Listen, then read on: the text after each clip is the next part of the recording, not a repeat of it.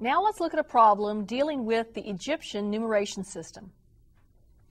Write the following numeral as a Hindu Arabic numeral. And we have a number of symbols. Where we're going to use a chart, and you can refer to this in your textbook also, in order to see what the symbols mean. We notice that we have our Hindu Arabic numerals in our first column, the Egyptian numerals in the second, and then a description of those Egyptian numerals to the right. So let's start off by noticing that the first symbol that we see looks like our pointing finger, and that stands for the value of 10,000. We have two of those, so this is going to be 10,000 plus another 10,000. Next we see our symbol, which is a spiral.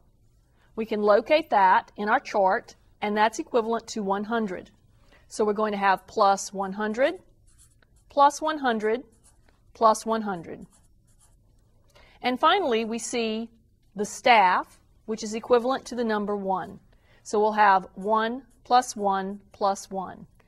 Now that's going to give us then 20,000 plus 300 plus 3, and that then is 20,303 as a Hindu Arabic numeral.